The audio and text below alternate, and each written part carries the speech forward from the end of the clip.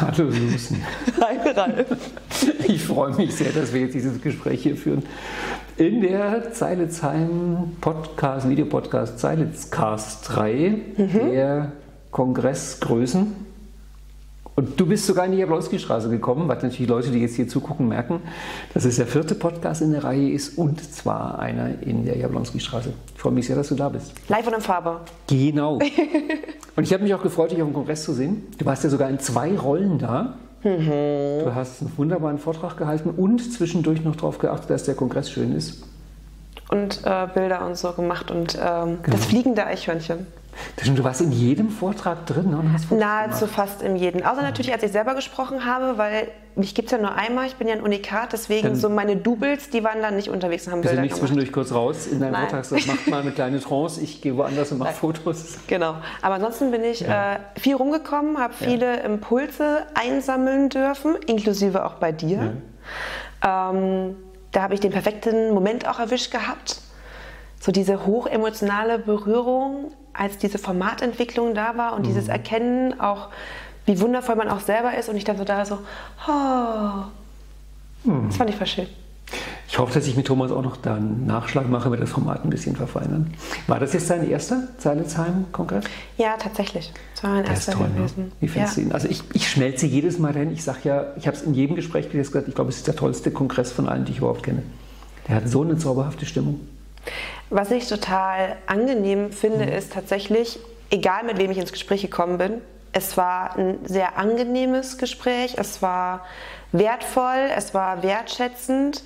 Man hat auch mal zwischendrin einfach nur gelacht über irgendwas. Also, was ich spannend finde, man lachte auch teilweise über Witze, die man sag mal, außerhalb der NLP und Persönlichkeitsentwicklungsbubble gar nicht verstehen würde. So, teilweise. Das finde ich Da wüsstest du ja aber nicht zufällig irgendeinen, oder? Nein, das sind halt so diese Situationswitze Ja, dann auch teilweise ja. so nach dem Motto, ja, da hast du irgendwas gerade weggetilgt oder so. Mhm. Du bist äh, der König der Tilgung oder da denke ich so. Das ist halt ganz, ganz witzig so in diesem Moment dann. Und ähm, was ich auch wirklich als sehr schön Mhm. empfunden habe, ich bin ja auch ganz viel durch die Räume ja durch und dann auch rechts, links da mal so mich da irgendwo dazwischen, um auch mal ein Bild zu machen. Und ähm, ich bin immer so mit einem Lächeln durch und ich habe auch so viel Lächeln zurückbekommen. Und das fand ich so ein Geschenk für mich persönlich, ähm, weil wenn ich so durch die Straßen laufe und ich habe meistens irgendwie so ein Grinsen auf den Lippen, da kommt auch mal ein Lächeln zurück, aber bei weitem nicht so viel wie da. Also diese wirklich diese offenen Augen, in die man da reinblicken darf und ähm, ja, ein sehr schönes Wochenende. Das ist auch genau, was mir bei diesem Kongress so auffällt, ist, dass die Menschen und das Miteinander ist anders als bei anderen Kongressen. Also sonst bei Kongressen kenne ich viel mehr, dass so eine, so eine leichte Konkurrenzstimmung drunter liegt. Also nach dem Motto, wer hat den besten Vortrag und wer hat die besten Inhalte und wer kriegt die meisten Kunden, so weit in der Richtung. Das ist da überhaupt nicht. Es ist wirklich ein angenehmes Miteinander, als ob die Leute sich mögen würden. Das fand ich auch mega schön. Zum Beispiel, ich muss ja gestehen, ich war vor dem Moment des auf dem Brunnen steigens. Ich war ja so scheiße nervös. Ich war so krass nervös. Du, Ich warte seit Jahren darauf, dass mal einer reinfällt. Aber das Einzige war bis jetzt einer, der absichtlich reingestiegen ist.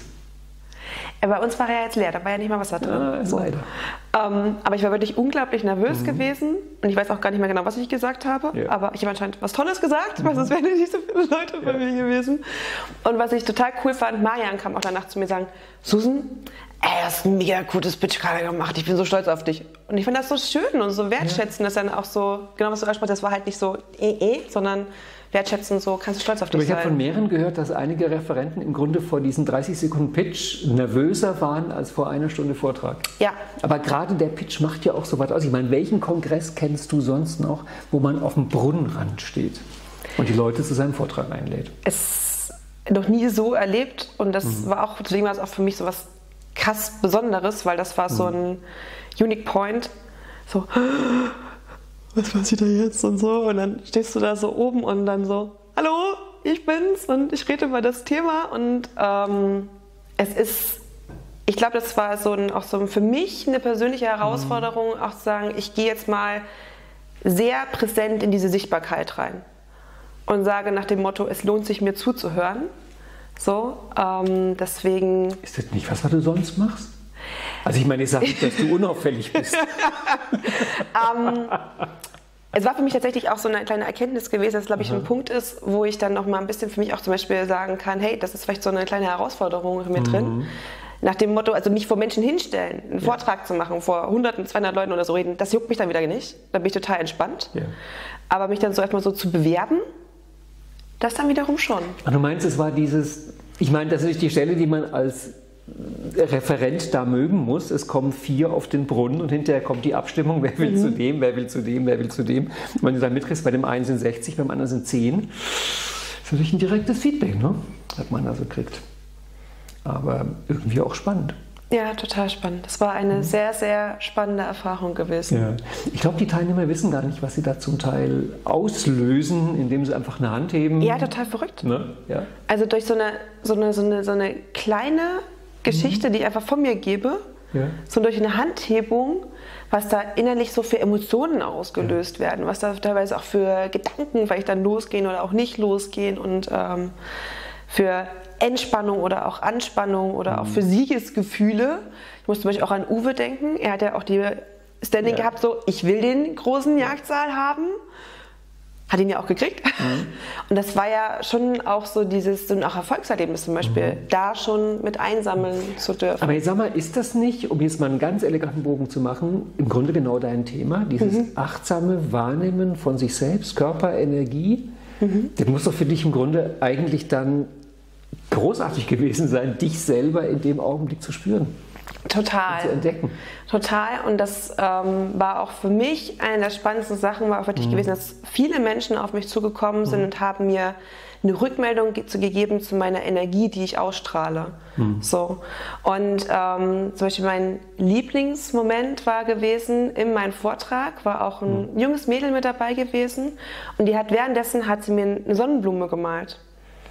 Und da habe ich so, oh, ich habe mich übelst gefreut. Ich fand das so ein schönes Geschenk und so viel Wertschätzung. Und ich so, dann später bin ich nochmal zu ihr hin.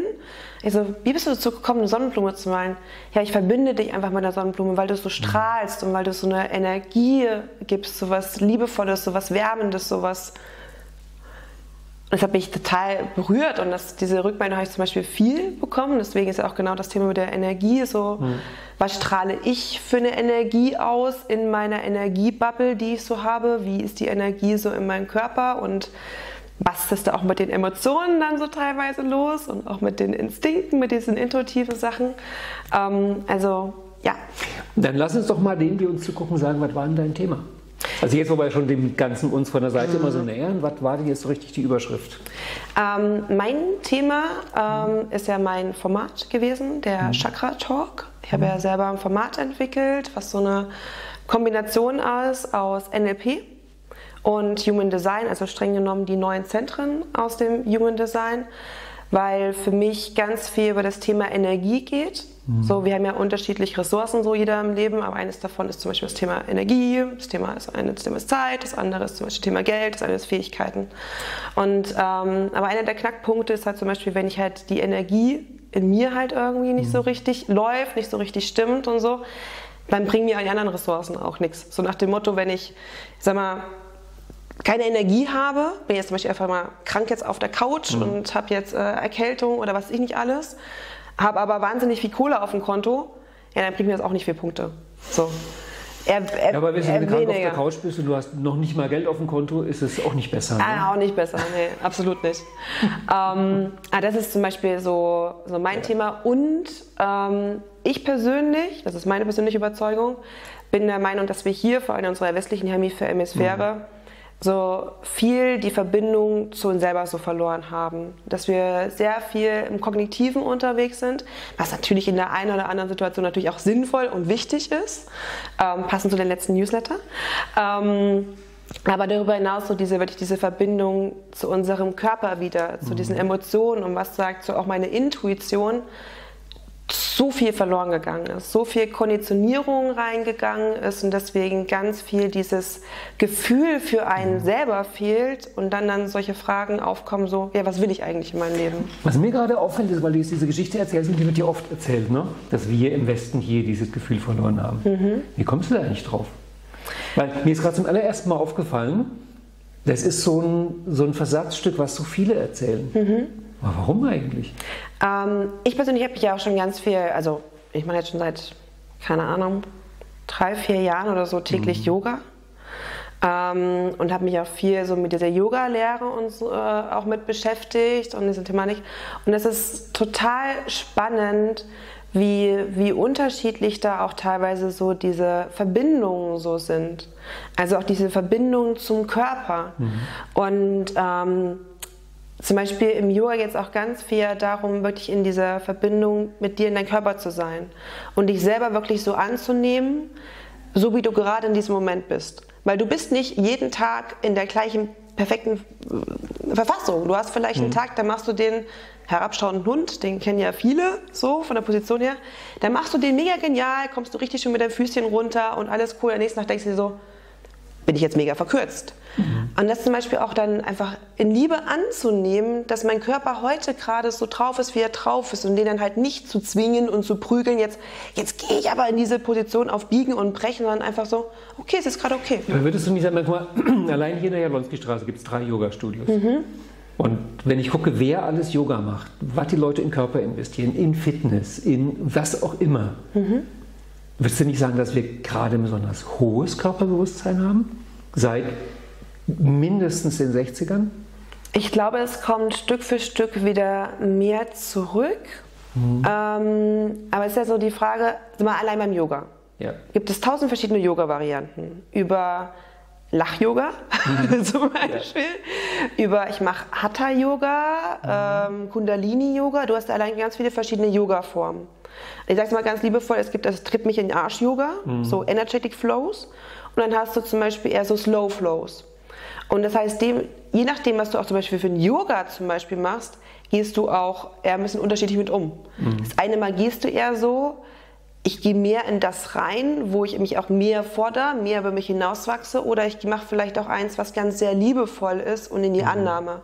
Es gibt zum Beispiel auch Yin-Yoga und Yang-Yoga. Also gehe ich eher in diese männliche oder diese weibliche mhm. Energie dann zum Beispiel mit rein.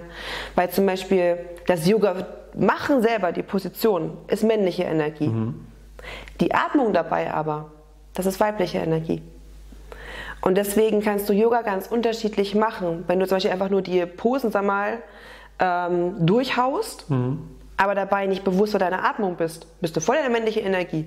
Dann wärst du jetzt äh, auch von, den, von dem, wie du unterwegs bist, auch in einer ganz anderen Verbindung. Also deswegen, es, ist, es kommt immer mehr, mhm. aber es wird einen auch teilweise meines Erachtens nach gar nicht so, so einfach gemacht. Weil dann gehst du vielleicht, du gehst jetzt in dein, mal angenommen, du würdest jetzt Yoga mhm. machen. Und du fängst jetzt damit an. Dann wackelst du jetzt hier zwei Häuser weiter rein, machst jetzt hier deine Yoga-Position, bist jetzt so bei dir, an deinem Körper, dann warst du raus und dann kriegst du hier einen blöden Anruf. Und da kann es ganz schnell passieren, dass du dann wieder aus diesem Bewusstsein von ich bin bei mir, mhm. in der Verbindung mit meinem Körper, und du musst vielleicht gerade, ich nehme jetzt mal ein ganz subtiles Beispiel, okay? Du musst vielleicht gerade eigentlich dringend Pipi. Subtil, ja. ja ganz subtil. Du, ich muss jetzt hier noch eine Dreiviertelstunde Gespräch durchhalten. Setz hier keine Suggestion, ja?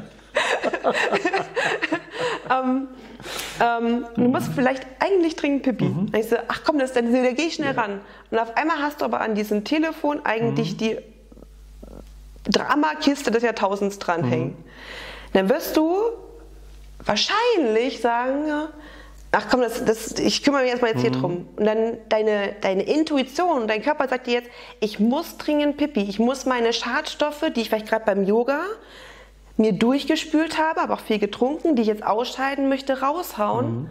Aber du behältst lieber gerade das Drama am Ohr und hältst deine Schadstoffe zurück und lässt die nicht rausfließen. Und dann bist du wieder nicht bei dir. Mhm. Und das geht ganz, ganz schnell. Und das sind solche, diese kleinen Geschichten. Es wird besser und es wird mehr. Es ist aber auch eine Geschichte des Trainings. Ich bleibe dabei. Ich glaube, mir fällt gerade auch wirklich zum ersten Mal selber auf, dass nachdem wir über sowas reden, nachdem du sowas anbietest, nachdem du damit Leute gewinnst, ist es eigentlich doch ein Zeichen für ein Körperbewusstsein, also für eine Wahrnehmung, dass es notwendig ist, daran was zu machen. Also ich war nie groß in der Welt unterwegs, aber ich habe von Leuten gehört, die waren in Asien, die meinen, das ist schockierend, wie die Leute da an sich halten, also mit, mit Maske, mit Gesicht waren, mit sehr kontrolliert sein. Also glaubst du wirklich, dass wir hier die Kultur sind, die am allermeisten dieses kognitive, beherrschte, körperlose hat? Mal abgesehen von irgendwelchen indigenen Völkern, die wir irgendwas einprojizieren natürlich, ne? wobei wir denken, das ist pure Natur. Ich glaube, es, ich glaube, es ist ganz unterschiedlich. Ich glaube, das hat auch immer was damit zu tun. Also, wir können jetzt auch mal einen Spruch machen, Graves Value und so. Was habe ich für eine Bewusstseinsebene? Wo bin ich unterwegs? Ähm, was habe ich auch für einen Rahmen von Möglichkeiten mhm. dazu mit drin. Ich glaube, es gibt Menschen, die sind auch in den östlichen Hemisphären komplett nicht in mhm. Verbindung mit sich. Ich glaube, es gibt auch hier Menschen, die sind sehr in Verbindung mit sich. Ähm, das kannst du, glaube ich, überall hingucken. Ne? Daran würde ich jetzt nicht unbedingt festmachen, aber was ich aber einfach erfahrungsgemäß jetzt schon mitbekommen habe, durch auch arbeite ja auch in der Automobilbranche, also für die Automobilbranche. Mhm. Sozusagen dann dein Ausgleichssport, oder? ja, so kann man das so ein bisschen so sehen. Und das ist schon mhm. teilweise echt krass, wie heftig kognitiv konditioniert das teilweise ist. Ich glaube, ich muss die Leute mal verteidigen. Ich glaube, wenn die wirklich spüren würden, wie es ihnen geht, dann wären die kreuzunglücklich. Es ist natürlich auch viel, auch teilweise, ja, ich sag mal so, wir haben ja viele auch so Selbstschutzmechanismen, ja. die wir uns ja irgendwo mal angeeignet haben, mhm. durch die Konditionierung, die wir, was ich, Kindheit, ja. Jugend und so gemacht haben, die uns ja irgendwie mal beschützt haben. Ich kann davon auch Lieder singen. Mhm. Ich habe meine Lieblingskonditionierung, die ich über Jahre hinweg krass durchgezogen habe, war das Thema Perfektionismus. Also mhm. wirklich dieses Leistungspferd yeah. mitgenommen aus der Kindheit heraus. So, ich beweise mich, indem ich, was ich, gute Noten mit nach Hause bringe. Ach, du bist dann ein gutes Mädchen, ne? Und dann da, da, da, da, da. Was man halt so mitbringt was ja auch Vorteile für sich mitgebracht hat, sonst hätte ich ja das nicht so lange auch aufrechterhalten. Mhm.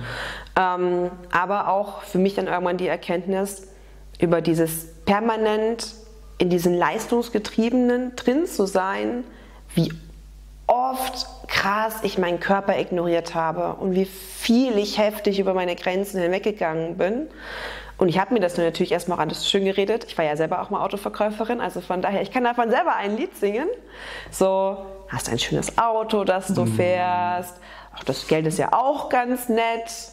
Ich hatte auch mega tolle Kunden. Also ich habe meine Kunden mhm. geliebt. Ich habe eine untolle, unglaublich tolle Beziehung zu meinen Kunden gehabt. Lag aber auch darum, dass ich sehr viel für die gemacht habe. Dementsprechend auch sehr viel gearbeitet. Ähm, aber ich bin für mich selber froh, dass ich dann diese Erkenntnis hatte, zu schauen, was will ich eigentlich wirklich. Mhm. So möchte ich dann weiterhin in diesen, in diesen Leistungsstrudel da so ein Stück weit drin bleiben, wo jedes Jahr am 1.1. die Zahlen wieder auf Null gesetzt sind und dann sitzt du wieder bei deinem Verkaufsleiter am Tisch. Jahreszielvereinbarung, hast du dann wieder erstmal so eine große Zahl vor der Brust und du denkst dir so, oh holy shit, es geht schon wieder los. Orange nach grün, ne? Oh ja. Mhm. Das erinnert mich an eine Geschichte, die habe ich mal erlebt im Seminar. Da kam eine Frau zu mir, hinterher meinte, ob NLP auch hilft bei psychosomatischen Beschwerden. Sie jetzt an der Schulter, mhm. sie kann den Beruf nicht mehr machen. Da habe ich sie einfach so gefragt: Macht dir dein Beruf eigentlich Spaß? Mhm. Dann dreht die sich um und geht. Und ich dachte, was ist denn jetzt los? Dann kam die am nächsten Tag wieder und meinte: Nein. Und ich was? Und sie, du hast mich doch gestern gefragt, ob mein Beruf mir Spaß macht. Und ich, ja. Hat sie gesagt, ich habe mir die Frage nie gestellt. Er macht mir keinen Spaß. Krass. Und ich fand das, ich war so berührt, dass sie zugegeben hat, sie hat sich die Frage nie gestellt. Also ich will damit sagen, das, was, wir kommen ja gleich drauf, das, was mhm. du mit den Leuten machst, sie in Kontakt bringen mit dem Körper, mit ihrem Gefühl, das kann ein Leben dramatisch verändern. Total. Das kann sehr viel verändern. Und dann stehen sie plötzlich da und haben keinen Job mehr im Auto raus, die armen Leute.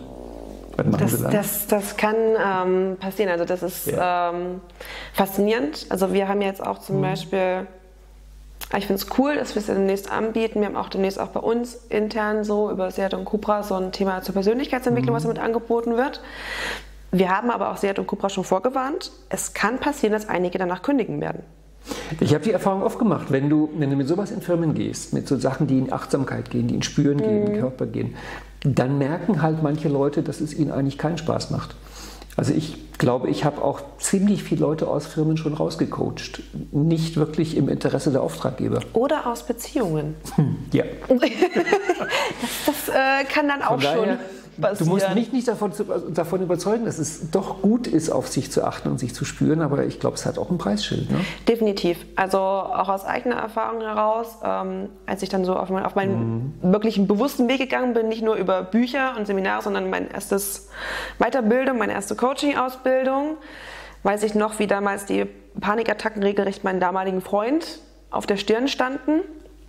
Ähm, na, damalig ist jetzt auch ein bisschen naheliegend. Ne? Ich höre schon das entscheidende Wort, der damalige Freund. Ja, mhm. und ähm, das erste Modul war auch Liebe und Partnerschaft und ich dachte mir erstmal so, oh mein Gott, ich will nicht. Das ist, glaube ich, nicht gut. Ähm, zum einen, mir war klar, es ganz viel auch mit Kindheit und so beschäftigen. Also so, oh, ich, das ist wirklich ja okay. Und dann war wirklich so dieses, ich sitze da in diesen Seminaren so, mhm. okay, du hast jetzt hier viel Geld bezahlt da war das Kognitive dann wirklich gut. So, ja. du hast jetzt hier viel Geld bezahlt, du ziehst das jetzt durch. Du hast dich hier angemeldet, weil das war so dieses innere Gespräch dann. Du bist einem Impuls gefolgt. Du folgst jetzt diesem Impuls. Auch wenn, das heißt nicht, dass es unbedingt immer einfach ist. Wir bleiben jetzt hier, wir ziehen es jetzt durch. Ja, so im Laufe der Zeit dachte ich mir so, es ist tatsächlich für beide Parteien sinnvoller, mhm. die Beziehung äh, dann nicht weiterzuführen, aber in voller Liebe, weil ich gemerkt habe, so, ich bin nicht die richtige Frau. So. Und es ist besser, ihn in Liebe gehen zu lassen, damit er diesen Menschen, der ihn dann glücklich macht, diese Person hat er und darüber bin ich total dankbar und glücklich, ähm, dann auch finden zu können oder auch sehen zu können, dass ich den Weg frei mache dafür. Mhm. So. Ah, das Bewusstsein durfte mhm. ich erstmal dafür dann auch haben. So.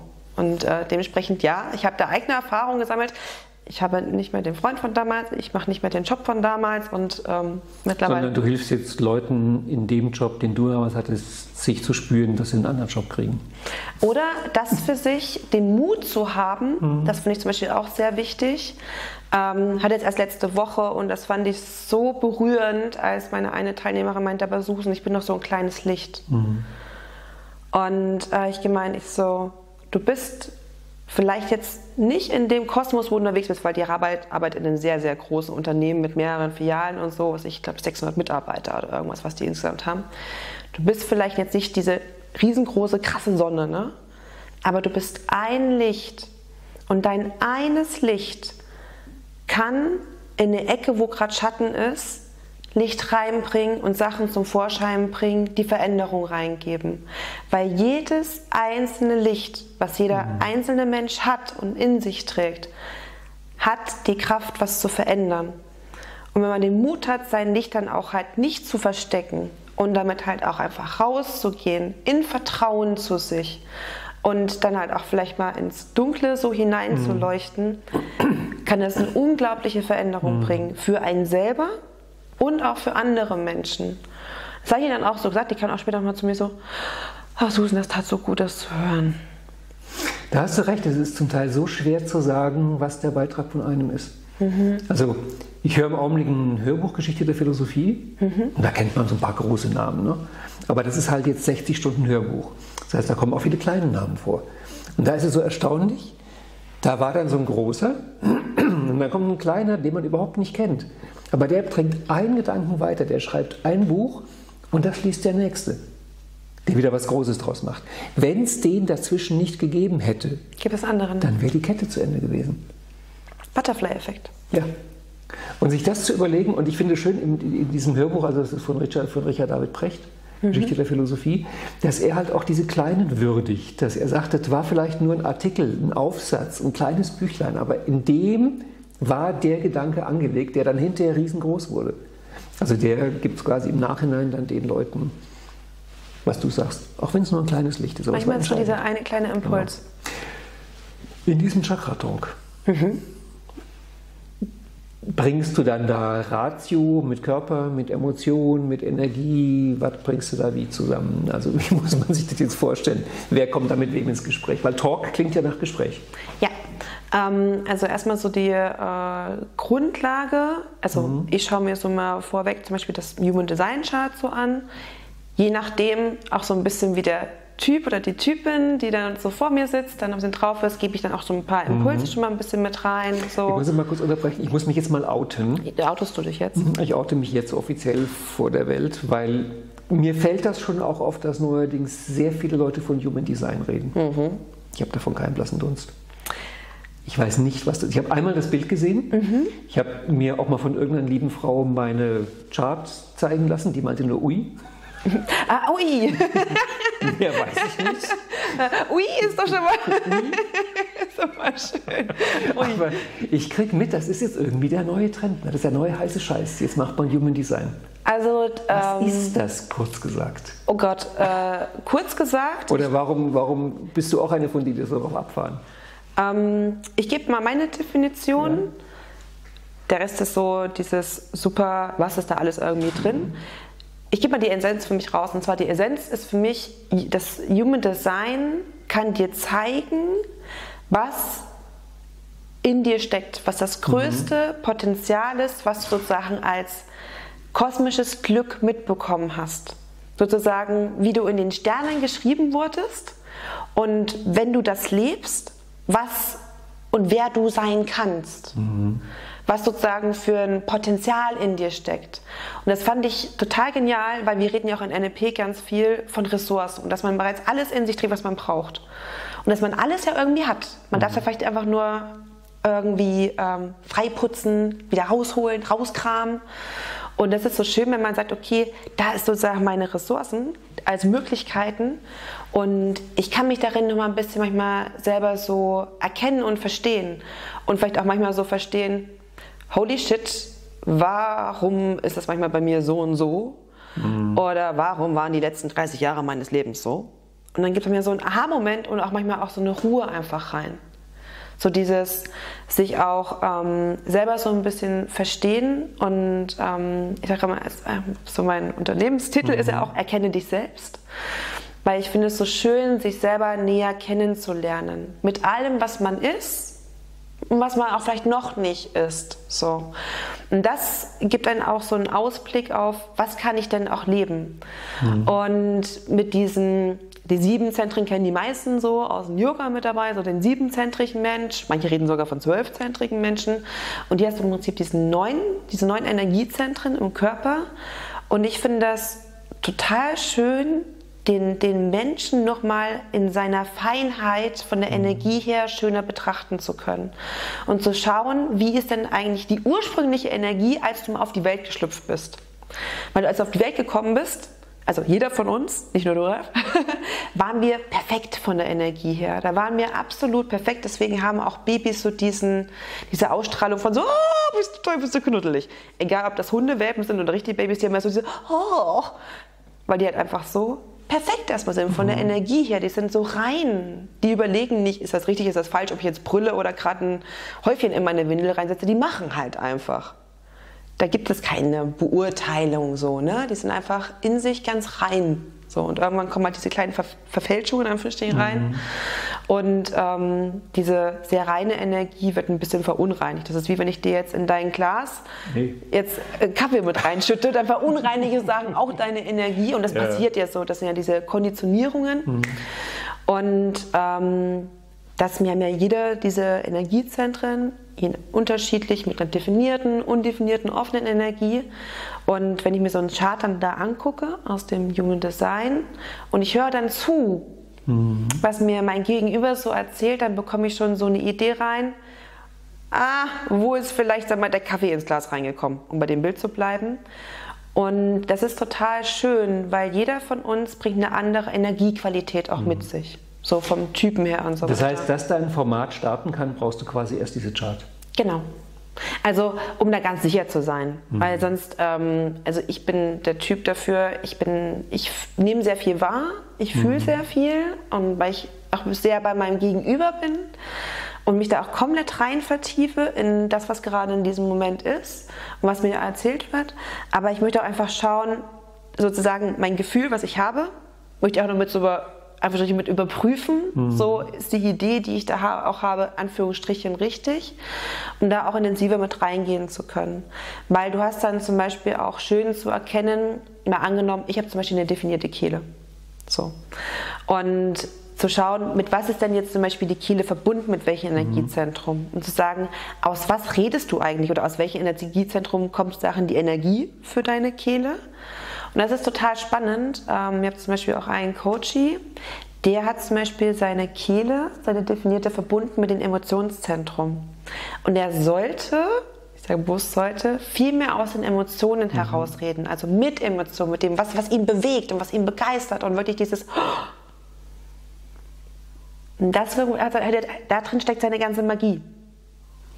Das tut er aber nicht. Mhm. Und deswegen sozusagen das Potenzial, was er hat, mhm. um die Menschen zu verzaubern, nutzt er nicht. Weil er sich sagt, okay, nee, ich bleibe lieber eher in der Kontenance. Und dementsprechend nutzt er nicht die Energie, die eigentlich sein ursprüngliches ist, weil er in diesem Emotionszentrum zum Beispiel konditioniert ist. Und da kann man dann sehr viel mit aufheilen, um dann wieder in die Verbindung zu sich reinzukommen.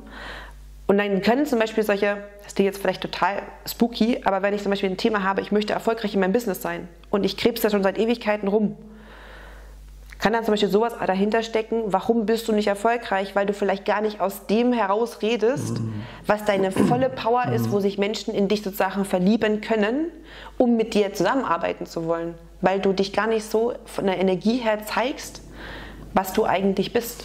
Das heißt, es wäre ein Format, was du da entwickelt hast, wie jemand auf der Grundlage seiner Human Design Chart mit dem, was er da hat, arbeitet. Es geht dann sozusagen da rein, dass ich ähm, bei diesem Chakra Talk geht man, mhm. also gehe ich bewusst ja. in dieses eine Energiezentrum rein und da wird eine wirklich eine Verbindung hergestellt über mhm. Äh, erstmal so einen hypnotischen. Was meinst du in dieses eine, also in, in ein Energiezentrum oder? In eins. In also eins. mal angenommen zum mhm. Beispiel, du hättest jetzt eine Disharmonie ja. jetzt ähm, zum Beispiel in deinem Herzen, so in deiner Herz. Energiezentrum.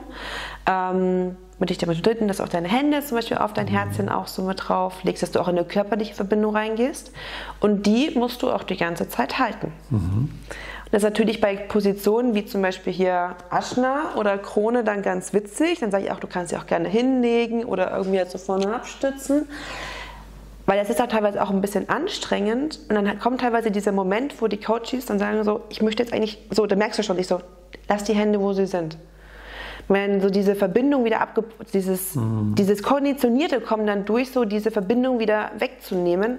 Nein, lass die Hände da, wo sie sind. Bleib in der Verbindung mit deinem Körper, mit dir. Und das wirklich, das mal aufrecht zu erhalten, dass ich fasse mich an, ich bleibe in dieser Verbindung, ist zum Beispiel ein sehr, sehr wichtiger Part. Weil man kann sich auch einfach mal selber fragen, wie oft fasse ich mich selber überhaupt bewusst an? Mhm. Nach dem Motto, eincremen. Ist ja gerade Sommerzeit. Mhm schrubbe ich mir jetzt zum Beispiel die Sonnencreme einfach so drauf, so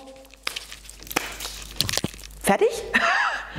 Oder genieße ich das vielleicht auch einfach, meine, meinen Körper zu berühren und nehme mich wahr? Mhm. Das sind zwei riesengroße verschiedene Paar Schuhe. So. Und das kann man ausprobieren. Das kannst du heute auch direkt machen, Ralf. Du Nicht noch achtsam mit Sonnencreme eincremen. Ja, zum Beispiel achtsames Duschen. Das ist eine der Lieblingssachen, die ich meinen Coaches mitgebe. Was macht das? Achtsames Duschen ist zum Beispiel, dass du guckst, auf welches Duschbad hast du Bock. Mhm. Dass du nicht einfach irgendeins greifst, was gerade da ist, weil es da steht, sondern du schnupperst da vielleicht erst dran. So dem Motto, riecht das heute für mich mhm. angenehm? Und dann gehst du in deine Dusche rein, machst dir die Temperatur, so wie sie für dich wohl wird, und du seifst dich dann halt wirklich ganz entspannt, halt wirklich mit Liebe und Achtsamkeit dann zum Beispiel einfach ein. Und du nimmst deinen Körper wahr. Mhm. Über deine Haare, die du hast, was ich, über den Leberfleck, den du vielleicht wahrnimmst, über was, ob du vielleicht hast du auch irgendwo eine Narbe an deinem Körper. Und einfach so, okay, das ist da, das bin ich, das ist, ist mein Körper. Ist dieses Duschen für dich sehr viel anders als einfach auf das WAKOK achten? Weil du hast jetzt gerade einen sehr spannenden Satz gesagt, nämlich liebevoll und achtsam. Mhm.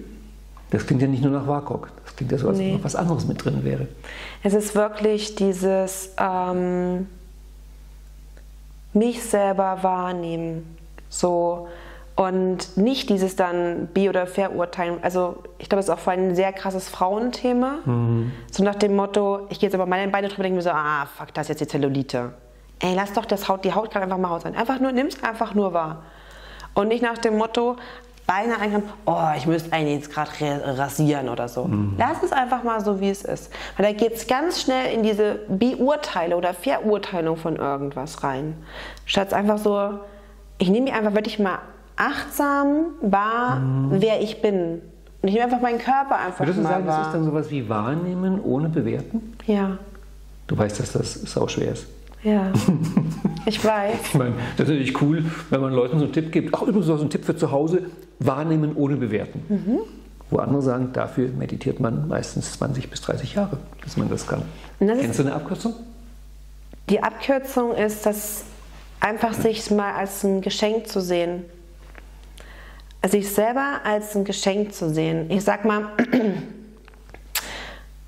ich habe dieses Geschenk sehr früh erfahren dürfen müssen, weil mhm. ich schon äh, ähm, sehr, sehr früh schon diese Erkenntnis hatte, okay, ich sage vielleicht fast Tschüss. Und habe dann das für mich sehr krass wahrgenommen, dass ich ähm, ein Geschenk habe, das ich leben darf. Also du meinst ein Geschenk für dich selber zu sein? Ja. Dass du ein Geschenk für dich Ja, bist. und dass ich überhaupt leben darf. Mhm. Dass ich ein Geschenk für mich bin, dass ich überhaupt leben darf. Also dass ich existiere. Allein, dass man existiert, mhm. ist ein mega krasses Geschenk, weil da müssen ja so viele, Anführungsstrichen, Zufälle zusammenkommen, dass wir beide jetzt hier wirklich existieren und sitzen. Also das wirklich mal aus, sag mal, Luft, so Materie dann wurde, die jetzt hier zu einem Fleischklops wurde. Das ist es ist so verrückt, ne, dass, obwohl wir so unfassbar viel heute wissen in unserem technischen Zeitalter, die Stelle, wo quasi tote Materie zu leben wird, mhm. die können wir nach wie vor nicht benennen. Was ist das für eine Stelle, wo Leben beginnt? Ne? Das ist eigentlich faszinierend. Und das ist mega faszinierend und das einfach mal sich selber als ein Geschenk zu sehen mhm. und dass man existiert und jetzt mal drauf geschissen, ob ich jetzt die perfekte Haut habe, ob ich den perfekten Körper habe. Verdammte Axt, du existierst. Mhm. Du, du bist gerade in diesem Moment, zu diesem Tag, zu dieser Uhrzeit, bist du einfach gerade hier. Und das finde ich unglaublich wertvoll und das ist so mein, mein Tipp für dieses, es ist jetzt einfach mal okay. Ich bewerte es jetzt einfach mal nicht, mhm. so es ist jetzt einfach mal okay, weil ich weiß, das hier ist gerade ein Geschenk.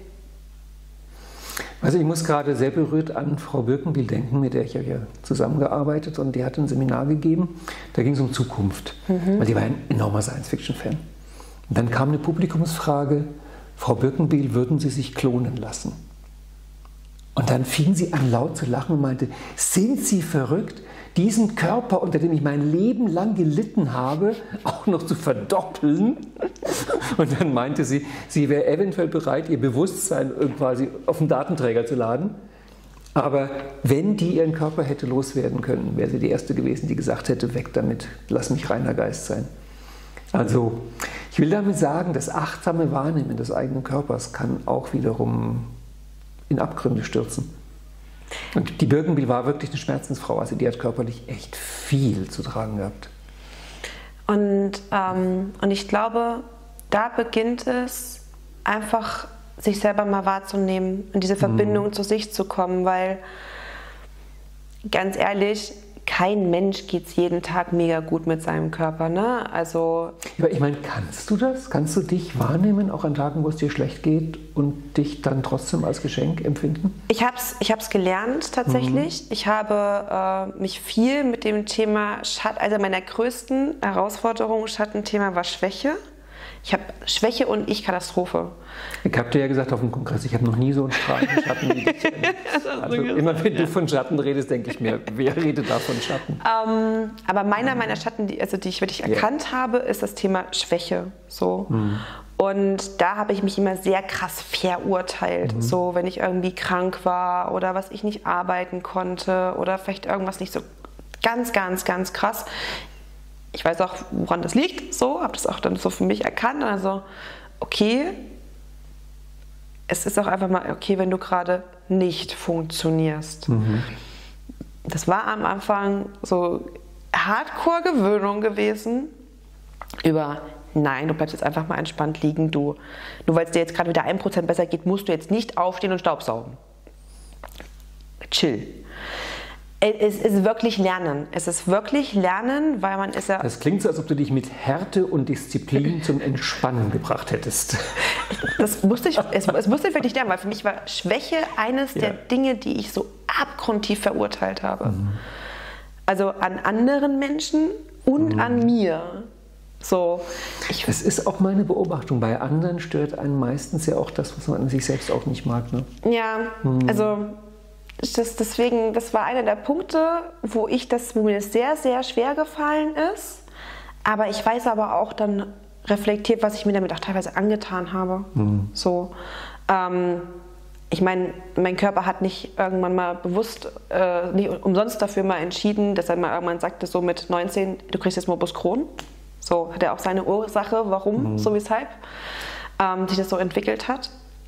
Und ähm, ich glaube aber für mich zum Beispiel auch, dass ich darüber auch ein Geschenk bekommen habe, dass ich viel mehr den achtsamen Umgang mit mir bekommen habe über mhm. was tut mir gut, was tut mir nicht gut. Dass ich jetzt zum Beispiel gerade mal einen Kaffee trinke, ist gerade völlig der Genuss, weil mich eine Kaffeemaschine so geflasht hat. Ähm, und wie gehe ich mit mir um? Wie gehe ich mit meiner Ernährung um? Wie gehe ich so mit meinem Körper um? Und das so für Stück für Stück sich wirklich mit sich selber in Verbindung reinzukriegen, ist nicht einfach, das würde ich niemals behaupten. Also jeder Coach und jeder Guru dieser Welt, die irgendwas immer zu von Leichtigkeit und Freudenschein erzählen, das ist in meiner Welt, ich sage mal so wie es ist, der größte Bullshit. Mhm. Es dauert einfach seine Zeit. Ähm, manche Sachen sind einfach umzusetzen, mhm. manche brauchen ein bisschen länger und manches geht dann auch leicht von der Hand.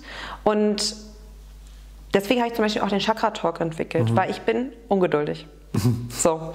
Und ich habe mir überlegt, was kann ich tun, um eine Abkürzung zu basteln für diese Konditionierung, wo dir sonst viele sagen, Konditionierung aufzulösen, brauchst du bis zu sieben Jahre. Und ich denke mir so, Alter, sieben Jahre, was passiert da alles in sieben Jahren? Nee, es muss irgendwie auch schneller und einfacher gehen und in einer schönen Verbindung.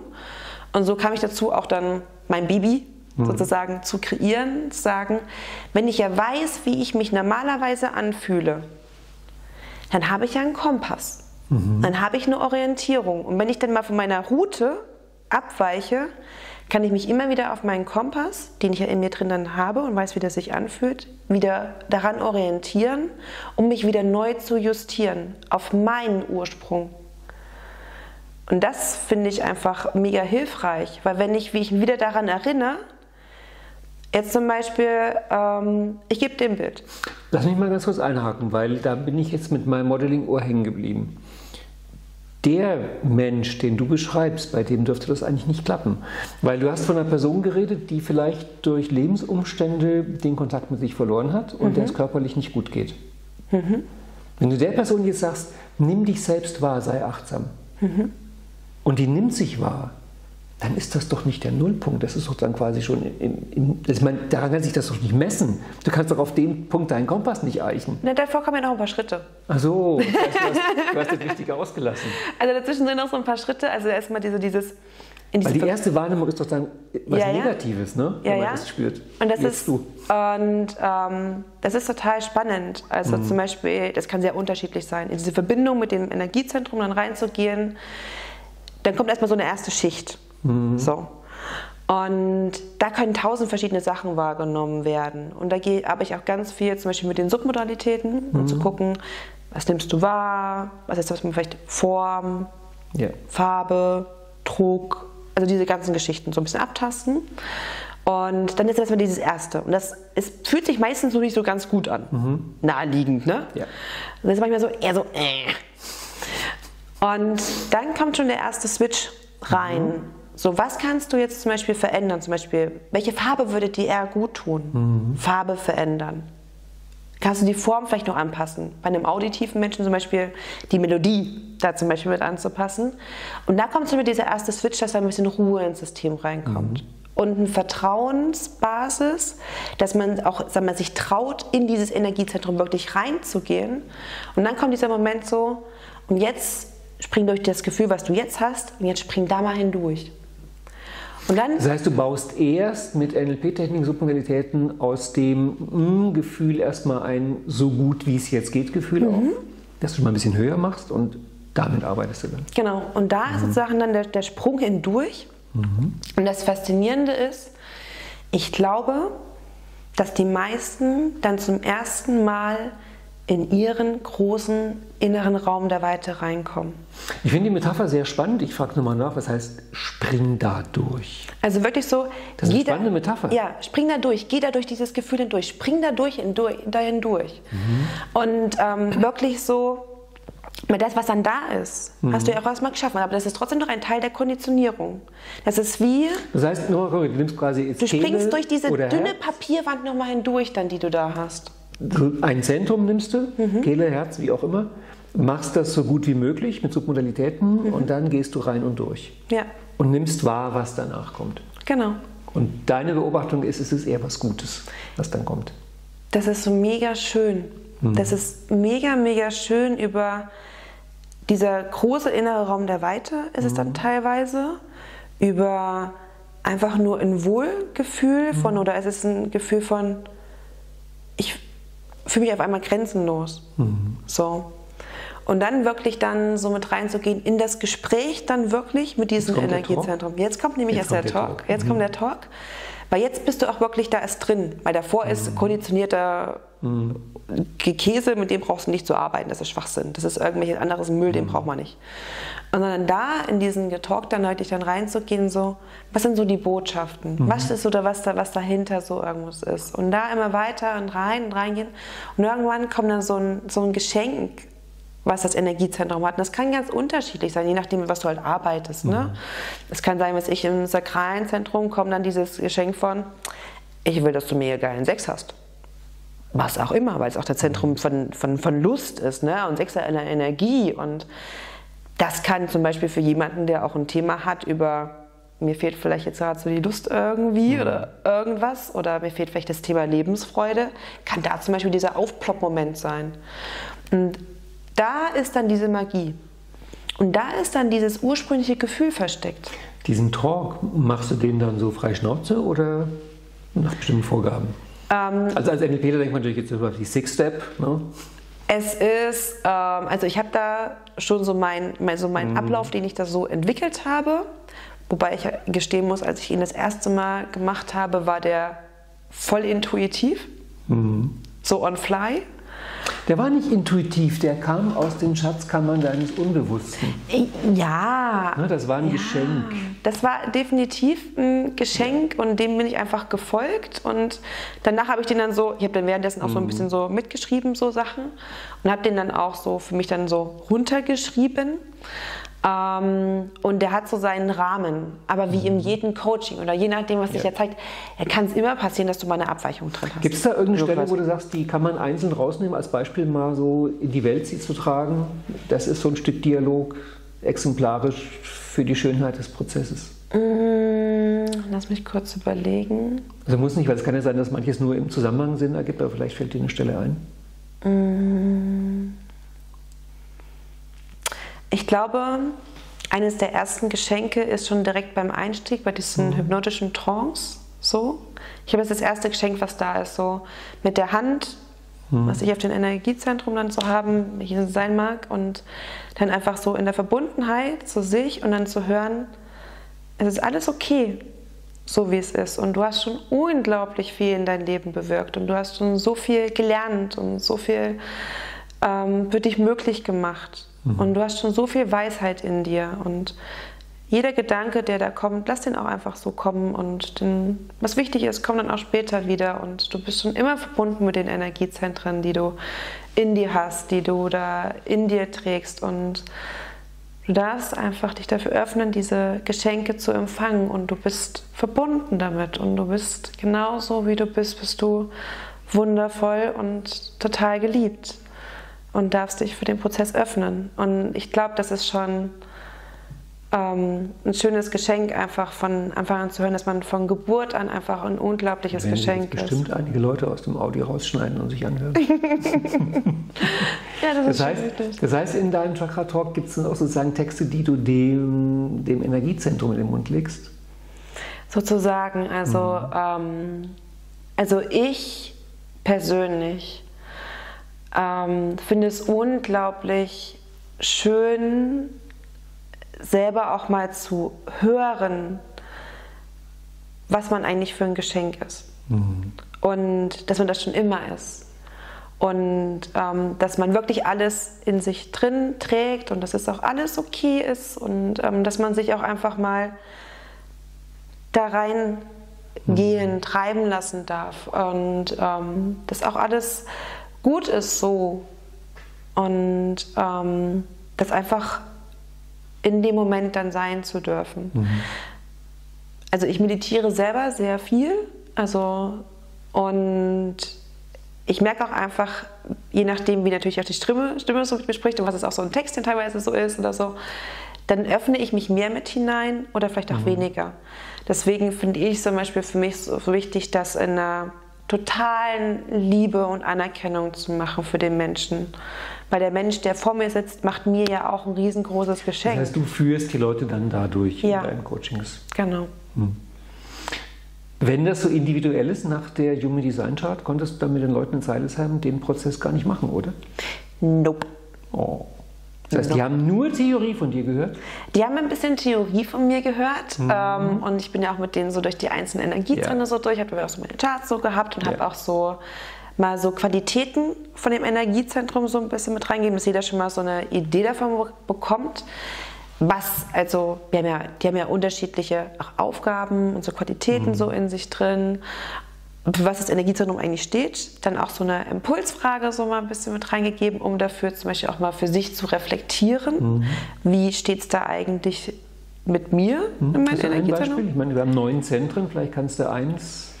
Ähm, eine der Sachen, die ich mit am heftigsten finde, mhm. so am heftigsten ist zum Beispiel das Thema mit dem Chi Center, also unser persönliches Gotteszentrum, mhm. Identitätszentrum weil das ist auch das Zentrum für das Thema Selbstliebe und Richtung im Leben. Und über das Chi Center steht das auch sehr viel in den Beziehungen in meinem Leben, die ich habe. Und eine der die Fragen, die ist auch mal im Coaching ziemlich heftig. So reflektier einfach mal für dich, wie sind die Beziehungen in deinem Leben denn die Qualität deiner Beziehungen sind der Spiegel für die Selbstliebe zu dir selbst. Kurz gefasst, umso mehr toxische Beziehungen du in deinem Umfeld, mhm. in deinem Leben hast, umso mehr vergiftest du tagtäglich die Liebe zu dir. Und das ballert schon ordentlich. Also nach dem Motto, wenn ich vielleicht eine Partnerschaft habe, wo ich mir denke, so, holy shit, wenn ich vielleicht eine Arbeit habe, wo ich mir denke, so, ach du Alarm, und meine beste Freundin oder bester Freund hat mich auch gerade in den Wahnsinn, dann sollte ich mir überlegen, was tue ich mir da tagtäglich an? Weil das ist so dieses typische, ähm, ach, dieses bisschen Gift kann mhm. ich täglich so ein bisschen trinken. Das bringt mich nicht um. Nein, tut's nicht. Also, wenn du dich täglich so ein bisschen mit einem Partner zoffst oder mit der Partnerin, es bringt dich nicht um. Aber dieses, ich nehme jeden Tag so ein bisschen von den Giftfläschchen bringt mich nicht um, aber es tötet jeden Tag ein bisschen zu der Selbstliebe zu mir. Du siehst mich skeptisch gucken. Ne? Mhm. Ja, weil das ist auch so ein, im Augenblick so ein Trendbegriff, die toxischen Beziehungen. Ja, das ist ein bisschen so vermainstreamt. Ich hake so. nochmal ein. Im Grunde machst du damit Beziehungen das, was du gerade gesagt hast, dass du mit deinem Körper nicht machen möchtest, du bewertest. Also könnte man die Beziehung nicht auch einfach wahrnehmen, so wie sie ist? Ich meine, so wie du hier sagst, irgendwie scheiß Zellulite, hast du dann da scheiß Beziehung. Ja, das Ding ist ja zum Beispiel, ähm, es geht ja auch viel darum, du hast ja, du hast ja einmal deinen Körper, den mhm. du hast, du hast deine Emotionen, du hast deine mhm. Intuition. Und du hast zum Beispiel vielleicht intuitiv, wenn du schon nur an die Arbeit denkst, kommt dir so ein komisches Gefühl im Bauch. Mhm. Du bekommst vielleicht Magenschmerzen. Mhm. Du bekommst vielleicht Kopfschmerzen. Also viele körperliche Symptome auch so ein bisschen rein. Und deine Intuition sagt dir zum Beispiel so, mm. und dann quälst du dich da aber hin, zum Beispiel zu der Arbeit. Dann ist es ja wirklich schlau, zum Beispiel in diesem Moment auch da bewusst hinzugucken und zu schauen, was macht das mit mir? Und das auch dann wirklich bewusst wahrzunehmen. Was macht das mit mir? Gibt mir das gerade eher so ein Gefühl von Freude? Mhm. So? Oder macht das mir eher so ein Gefühl von, es nimmt mir die Luft? Und das hat ja auch was damit zu tun, ich nehme das bewusst wahr. Und allein über die Wahrnehmung schon zu gucken, wird mir schlecht davon oder gibt mir, gibt mir das gut? Habe ich ja dann erst so dieses Gefühl so, was macht das für mich? Mhm. Und das heißt ja nicht, dass man das sofort als Jetzt mal ein ganz doofes Beispiel. Wenn ich zu viel Alkohol trinke, weiß ich von vornherein, wahrscheinlich wird es mir schlecht gehen. Deswegen trinkt man ihn ja. man will ja die erste Phase des Schlechtgehens will man ja absichtlich und die zweite nimmt man in Kauf. Der, der, der nimmt man in Kauf. So. Ja. Also ich nehme dann zum Beispiel das bewusst in mhm. Kauf. Also ich nehme zum Beispiel bewusst wahr, ich habe jetzt in diesem Moment Freude mhm. und es ist für mich okay, dass es mir morgen scheiße geht. Aber mhm. dafür hatte ich einen witzigen Abend. Mhm. Das ist dann okay, aber ich nehme es bewusst wahr. Mhm. Ich beurteile es ja trotzdem so ein Stück weit ne? und lege dann für mich ab, möchte ich das jetzt ja. in Kauf nehmen, dass ich morgen eine Karte habe? Ja, nein. Und das ist ja auch in gewissen Situationen ist es ja auch wichtig. Möchte ich das in Kauf nehmen, was ich da gerade mhm. habe? Ja, nein. Zum Beispiel nach dem Motto, du hast jetzt vielleicht ähm, einen Arbeitgeber, eine Arbeitgeberin, mhm. die dir aktuell überhaupt gar nicht gut tut. Dann kannst du sagen, okay, ich nehme es gerade bewusst in Kauf, weil es mir gerade meine Brötchen finanziert. Gleichzeitig nehme ich aber bewusst wahr, was wird mir dadurch möglich. So, was mache ich denn mit mhm. diesem Geld? Ne? Warum stehe ich morgens auf? Diese berühmte Frage. Ich hake mal trotzdem an, weil ich finde, dass in dieser Formulierung toxische Beziehungen, wenn ich die oft höre bei Leuten, mhm. ähm, zwei Sachen vermischt werden. Die sagen, es ist eine toxische Beziehung, aber was sie eigentlich meinen, ist, es ist ein toxischer Mensch. Mhm. Weil Beziehung würde ja bedeuten, beide Seiten tragen was dazu bei. Aber wenn ich höre toxische Beziehung, ist es meistens nur die Erlaubnis, äh, da irgendwie auszusteigen und abzugrenzen. So ich, ich was nicht verkehrt ist, aber es ist dann im Grunde keine toxische Beziehung, sondern ich schiebe das auf den anderen. Du bist giftig. Ich sag's mal so, also in meiner Welt mhm. Gehören so eine Beziehung immer zwei. Also würdest du sagen, auch bei einer toxischen Beziehung hast du auch Karten mit drin, oder? Ja, natürlich, weil mhm. ich lasse es ja zu. So, mhm. mal nach dem Motto, ähm, ich lasse es zu, dass ich jeden Tag schlecht behandelt werde. Mhm. Bin ich aber auch ein Mitspieler, weil ich tue ja nichts. Also lasse ich es ja dazu, dass mit mir vielleicht schlecht umgegangen wird. Mhm. Also bin ich ja jemand, der mitspielt. Vielleicht nicht optimal, so im Rahmen dessen, was ich eigentlich tun könnte, aber ich gebe das, ich mache ja nichts. Mhm. So. Also spiele ich dieses Spiel ja mit. Also für mich sind da immer zwei Menschen mit beteiligt. Wenn du jetzt eine Beziehung als toxisch benennst, mhm. bedeutet das für dich dann eher aus der Beziehung raus oder eher, ich will die Beziehung ändern? Ich glaube, es kommt ein Stück weit auf die Beziehung so mit drauf mhm. an und wie die auch im Zusammenhang so gesamtheitlich so mhm. mitsteht. Ähm, ich weiß, ich habe schon auf jeden Fall toxische Beziehungen in meinem Leben gehabt. Die, manche sind sehr ursprünglich. ähm, wo ich mich zum Beispiel bewusst auch dafür entschieden habe, da eher in eine Distanz reinzugehen, ja. weil das einfach für mich gesünder ist. So, und dann habe ich aber auch schon Situationen in meinem Leben gehabt, wo ich meine, okay, so funktioniert es jetzt für mich nicht weiter. Mhm. Und ich bin dann in diese Stärke reingegangen und in dem, okay, ich gehe in meine Rolle rein als Mensch, als Frau und sage, was ist mir wichtig, was möchte ich. Weil das Ding ist ja, mal angenommen, ich ziehe jetzt, ich beende jetzt einfach nur die Beziehung. Hm. Mal angenommen, du und ich hätten jetzt eine Beziehung. Und die ist vielleicht nicht optimal, weil wir beide über unsere Grenzen jedes Mal hinweggehen. Wenn ich aber jetzt einfach nur abhaue von dir und dann gehe geh ich aber zum nächsten. Hm habe ich das, das, Thema ja trotzdem noch nicht geklärt. Mhm. Das nächste Mal wird es ja in der Beziehung wieder genauso. Das ist ja dann auch Schwachsinn. Das heißt, über kurz oder lang, alles, was wir, also das ist meine persönliche auch Erfahrung und mache meine mit dazu, alles, was wir irgendwo immer wieder gezeigt bekommen, sind ja Themen, mit denen wir uns irgendwo mal beschäftigen dürfen. Und wenn ich dieses Thema dann halt auch mal nicht angucke, was mir dann irgendwie halt von meiner Seele hingelegt wird, dieses Geschenk so, guck dir es jetzt bitte an mach's jetzt auf, beschäftige dich jetzt damit. Dann nimmst du es jedes Mal wieder aufs Neue mit, halt nur in einer mhm. anderen Verpackung. So, und deswegen ist es ja auch zum Beispiel wichtig, Dinge zu erkennen, wie stehen auch manche Sachen im Zusammenhang? Und deswegen ist zum Beispiel auch mit dem Chakra-Talk und dieses Gefühl reinzugehen, wie fühle ich mich normalerweise an? Kann ich dann auch eher das Gefühl reingehen, wie möchte ich mich mit diesen Menschen fühlen? Mhm. Und dann könnte ich dir zum Beispiel sagen, hier Ralf, mir ist es wichtig, dass du mir besser zum Beispiel aktiv zuhörst. Dass du zum Beispiel eher darauf achtest, was ich deinen Teller in die Spülmaschine reinzustellen, weil es hat für mich was mit Wertschätzung zu tun. Mhm. Weil dann fühle ich mich von dir wertgeschätzt. Und dann kann ich mich an mein Gefühl, wie ich mich fühlen möchte, orientieren, um damit in die Kommunikation zu gehen. Ist für dich also ganz stark ein Feedback-Instrument, dein eigenes Gefühl? Total, ja. total. Weil ähm, wenn ich ja weiß, wir sind ja permanent, wir haben permanent irgendwelche Emotionen. So, Mhm. die sind ja irgendwie immer so da. Manche sind halt sehr stark wahrnehmbar, was ich beim Achterbahnfahren so, Mhm. oder ich gucke gerade einen tief traurigen Film und flennen. Also wir haben, permanent sind irgendwelche Emotionen on stage. Mhm. Manche sehr intensiv, manche ein bisschen low. Und manchmal haben wir auch eher so ein bisschen unseren neutralen Modus, weil der halt gerade am besten so funktioniert. Ähm, aber über unsere Emotionen und das, dieses intuitive Gefühl, was fühlt sich für mich gut an? Jetzt mal ein ganz blödes Beispiel.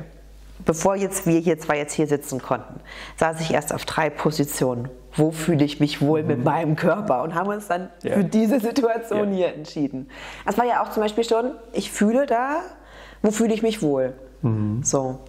Und ähm, dann zum Beispiel zu gucken, wie fühle ich mich dann auch mit dir? Was können wir jetzt um gucken? Das ist ja alles Schönes vom Gefühl her und so weiter und so fort.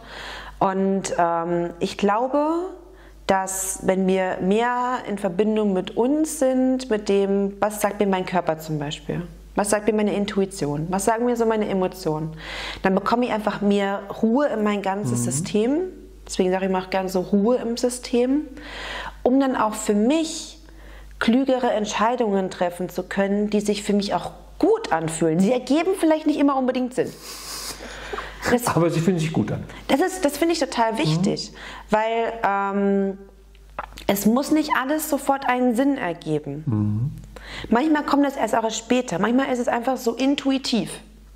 Also, ich würde mal sagen, diese, wir hatten ja vorhin Butterfly-Effekt-Modus gehabt, dass ich heute hier sitze, ist auch eine Anreihung von verschiedenen Impulsen, denen ich mal gefolgt bin. Dass ich mich zum Beispiel für Stefan Nansil entschieden habe, da die Ausbildung zu machen, war komplett intuitiv. So nach dem Motto, oh, die Stimme klingt ganz nett. Passt. Nehme ich. Gehe ich hin. Sieht sympathisch aus. Das war total intuitiv. So, und jetzt so ein bisschen später, durch diese Anreihung von Entscheidungen, sitze ich jetzt zum Beispiel heute hier bei dir.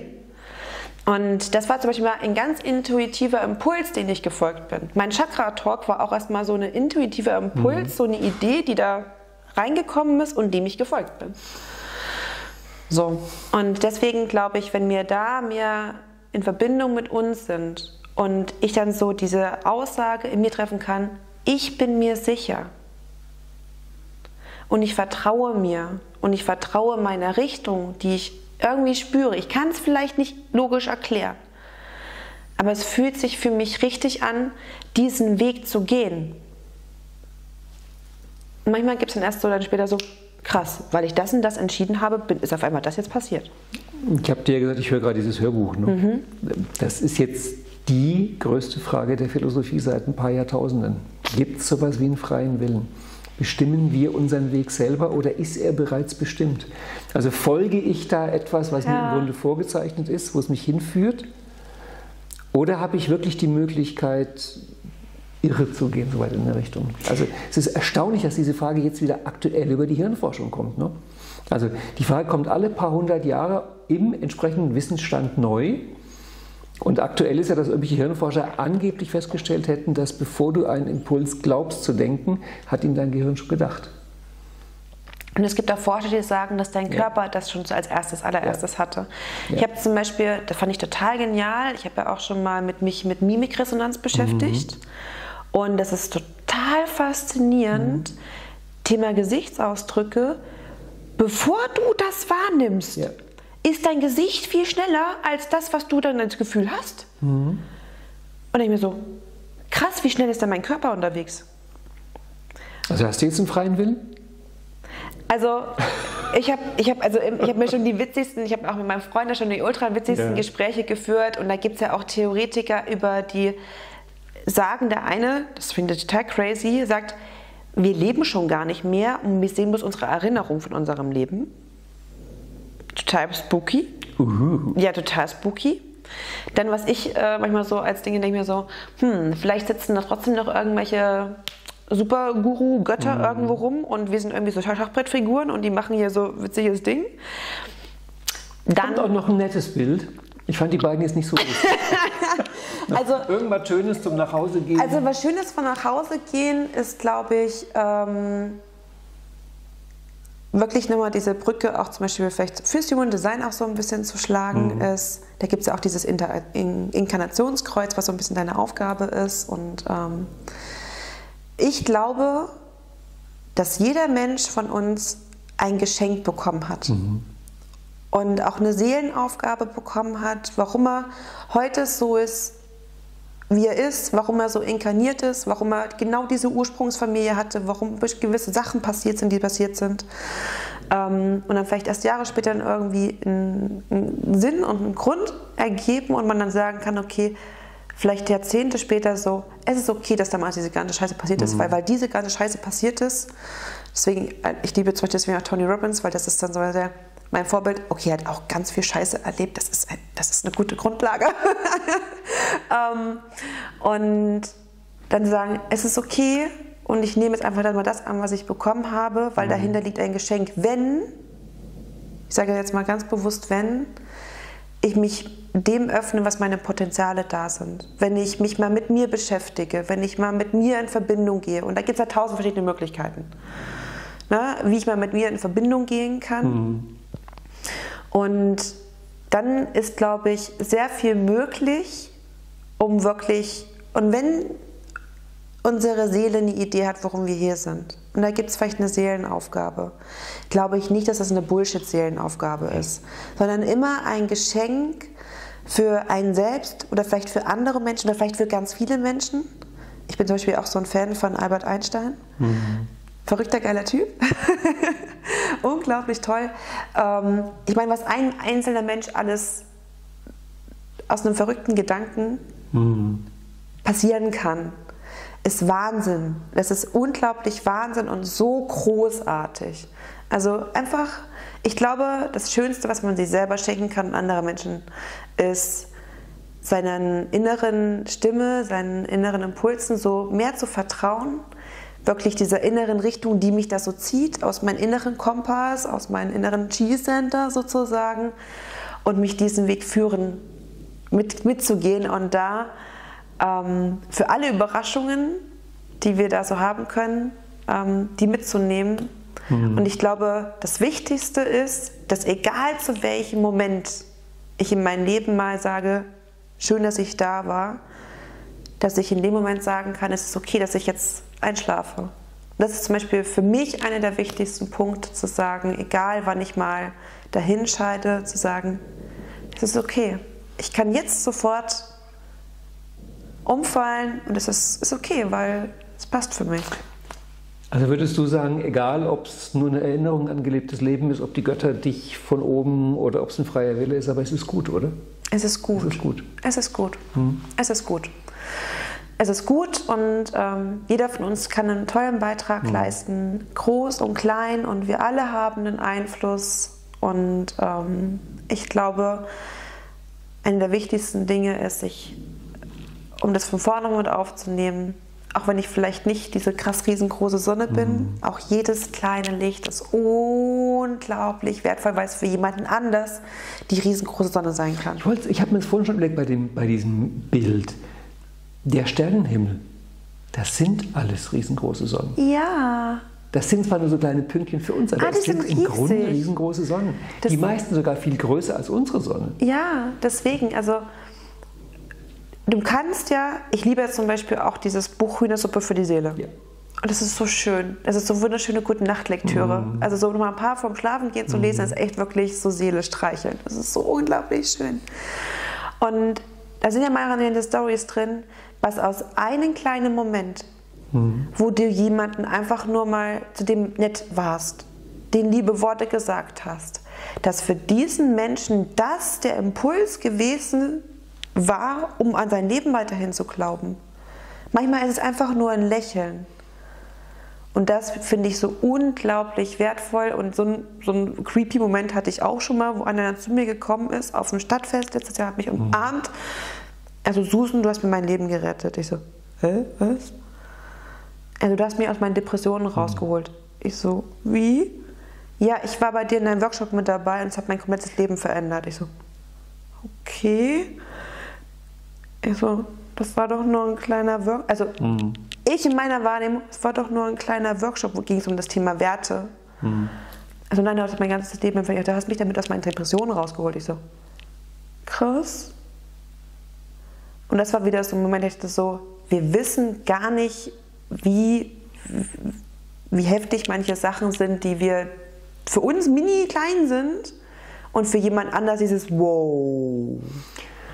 Das wollte ich eigentlich als Vortragsthema machen bei dem Zeilesheim-Kongress, der dann Corona zum Opfer gefallen ist. Ach Quatsch. Nämlich die andere Seite. Weil manche Leute haben einfach Glück im Leben. Ne? Mhm. Und ich habe das Gefühl, da ist eine Strategie dahinter. Also die Strategie, wie schafft man es, diese Kleinigkeiten nicht zu übersehen? Weil da gibt es ja auch den Menschen auf der anderen Seite, der, der in einem Workshop war. Mhm. Und der hat diesen einen Satz von dir aufgenommen. Mhm. Der hat ihn angenommen. Der hat sein Leben damit verändert. Das ist ja auch von seiner Seite aus eine Aktivität. Mhm. Und wenn du dir Biografien anguckst von Leuten, wo man am Ende sagt, boah, der hat ein tolles Leben gehabt, sind das ganz oft kleine Augenblicke. Und es gibt dazu Untersuchungen, ganz spannend. Diese Augenblicke gibt es in jedem Leben ständig. Aber meistens übersehen wir sie. Und es gibt Leute, die übersehen die Augenblicke nicht. Also die erkennen die, die kriegen mit, das ist so ein Glücksmoment. Und wie sind die Wahrnehmungsfilter von denen, die das merken? Es gibt da irgendeinen Professor, der wollte das untersuchen. Mhm. Und der hat im Büro hinten am Flur und hat Leute eingeladen, die die Glück hatten und die, die kein Glück hatten. Und er hat auf dem, auf dem Weg, auf diesem Flur seitlich irgendwie einen Dollarschein hingelegt. Und der meinte hinterher, die, die von sich sagten, dass sie oft Glück haben im Leben, die haben den alle gesehen. Und die, die sagten, dass sie eher kein Glück haben, die haben ihn übersehen. Das ist eine Frage der Wahrnehmungsfilter. Ja, ich glaube, das ist so, so, ein, so ein Punkt und ich glaube, das fängt schon so bei so Kleinigkeiten an. Mhm. Das ist vielleicht mega kitschig, aber ich liebe es ja spazieren und ich liebe ja. die Natur. Und ich strahle über tausend Ecken, wenn ich zum mhm. Beispiel einen Schmetterling sehe, oder wenn zum Beispiel zwei Schmetterlinge miteinander tanzen, ja. dann stehe ich so. Und ganz oft beim Autofahren, ich dann so, oh, ich so, oh, guck mal die Wolke. Ich so, oh, guck mhm. mal da. Und meine Freundin immer so, was siehst du permanent? Mhm. Ich so, siehst du das nicht? Also ich nehme ganz viel auf so diese kleinen Sachen mhm. permanent wahr. Also, was du immer zu siehst. So, das, das, das, ist ganz, ganz, ganz häufig. Und ähm, ich bin ja auch mit meiner besten Badiline hierher gefahren mhm. und wir hatten beide so einen coolen Moment, weil wir sind dann in einen großen ehemaligen Wasserwerkzeug da yeah. vorbeigefahren und ich so, wow, was für geile, coole Gebäude und wie faszinierend mhm. und ne und wo andere vielleicht einfach so stumpf dran vorbeifahren. Ich denke mir so, das ist ja voll die Geschichte und das sieht voll spannend aus. Was ist das denn? Und das ist, glaube ich, das, was, was dann auch mhm. wirklich ist, so das meinte ich ja, diese, die Offenheit. Also damit sind wir eigentlich wieder bei der Achtsamkeit angekommen, ja. wo wir angefangen haben. Die Achtsamkeit für sich, für die Welt, für die Uhr. Und wenn wir eine Stunde einhalten wollen, müssen wir jetzt. Tu mir das nicht an, es ist so schön mit dir. Könnten einen zweiten Teil machen. Wenn du willst. Mhm. Wir können ja mal gucken, wie das Feedback ist und wenn unter, unter, unter dem YouTube-Video dann steht, zweiter Teil, zweiter Teil, zweiter Teil. Und die sagen dann so, nee, euch zwei nicht mehr? Dann machen wir noch einen dritten Teil. Okay. Zweiten und dritten und vierten Teil. Es gibt noch viele spannende Sachen, wo man weiter einsteigen könnte. Total. Also, was ich jetzt unbedingt noch loswerden mhm. möchte, danke. Ich danke dir. Danke. Es war mir ein großes Vergnügen, ein wunderschönes Gespräch. Also ich finde es auch total schön, dass, ich, dass, dass wir es wirklich hier live ohne Farbe mhm. machen. Weil ich muss ja sagen, es wäre auch ein bisschen irgendwie. Ich liebe es ja wirklich, mit Menschen näher ja. zusammen zu sein, weil dann schwingt ja so unsere Energie mm. hier so gemeinsam so im Raum. Und wenn ich schon sage, ich arbeite viel mit Energien und so, ist es natürlich viel schöner, die live und in Farbe wahrzunehmen, als online, ne? Ja, ich bin wirklich froh um die Möglichkeit, Gespräche auf Zoom zu führen. Und ich bin noch mehr froh, wenn man Gespräche so führen kann es ist doch irgendwie, es gibt da etwas und sei es, dass es die Energie ist, das geht nicht über online. Da ist nochmal so eine Qualität mit drin. Die gibt es nur, wenn man sich gegenüber sitzt. Es, es gibt so eine kleine ja. Quintessenz, die irgendwie so einen, so, einen, so, einen, so, einen, mhm. so einen Unterschied macht. Ich kann ja auch nicht genau sagen, was es ist. Also online ist mhm. wahnsinnig viel möglich, steht außer ja. Frage. Aber vielleicht ist es auch einfach schon dieser Moment, dass man, wie wir zwei jetzt vorhin machen konnten, mhm. man sich zur, Be zur, Begrüßung umarmt. Mhm. Vielleicht ist das einfach schon so diese, diese, diese Mühe, diese Quintessenz, die es dann so ja, nah mhm. macht, so in Verbindung, in Connection. Ja, Aber ich hätte jetzt lieber meine Klappe im Rahmen der Zeit. Ich will noch einen anfügen, weil ich aber die Frage auch oft nachdenke. Und ich glaube, es geht um ein völlig absurdes Maß an Gleichzeitigkeit. Weil ich merke, dass diese minimale Zeitverschiebung auf Zoom, auch mhm. wenn es bloß ein Sekundenbruchteil ist, doch irgendwas mit der Beziehung macht. Und diesen, diesen Spruch, den jeder von uns weiß, Beziehung findet in der Gegenwart statt. Ja. Ich habe das durch Zoom nochmal auf eine andere Art verstanden. Dass diese Gegenwart meint wirklich die Mikrosekunde. Das und sobald das ein bisschen spannend. verschoben ist, ist es genauso wie ich mich zum Teil wundere, wenn ich meine Tochter angucke, dass die dann mit ihrer Freundin einen Abend lang WhatsApp-Sprachnachrichten schickt. Wo ich ihr dann manchmal sage, du, wir haben das früher Telefonieren genannt. Also es findet da so eine komische Zeit, also aus der Zeit rausgehen, mhm. dieses gemeinsame Zeit verbringen. Und da habe ich durch Zoom nochmal verstanden, das ist wirklich erstaunlich, wie das um ganz kleine Zeiteinheiten geht. Aber diese Gleichzeitigkeit macht es für mich aus. Und darum danke ich dir, dass du hierher gekommen bist. Live und in Farbe, ja. zum, zum, Anfassen. Ja.